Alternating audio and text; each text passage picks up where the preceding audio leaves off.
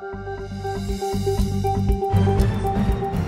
Oi, gente, eu sou a Marcela Rau e esse é o Giro Veja com os destaques do dia. Decisão do ministro Alexandre de Moraes, do STF, que autorizou a 24ª fase da Operação Lesa Pátria, deflagrada pela PF nesta quinta-feira, foi motivada por uma forte ligação entre o deputado federal bolsonarista Carlos Jordi, do PL do Rio de Janeiro, alvo de mandados de busca e apreensão cumpridos pela manhã, e Carlos Vitor de Carvalho, que é apontado pela investigação da Polícia Federal como uma liderança da extrema-direita de Campos dos Goitacazes. É, esse vínculo é indicado pela PGR a partir de conversas por mensagem de celular, nas quais Carlos Vitor pede orientações e autorizações a Jordi para organizar atos golpistas após as eleições de 2022. O deputado se manifestou nas redes sociais. Jordi negou que tenha participado da tentativa de golpe e associou a ordem de Moraes com a ditadura.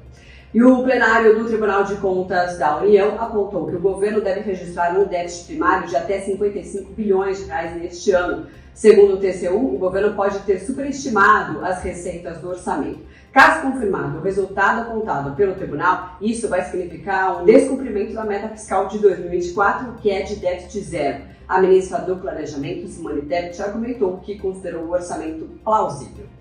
Eu fico por aqui, outras notícias é só acessar o site de Veja. Se você ainda não se inscreveu, aproveita então para se inscrever nos nossos canais do YouTube e também no WhatsApp para ficar sempre bem informado. Tchau, tchau, até amanhã!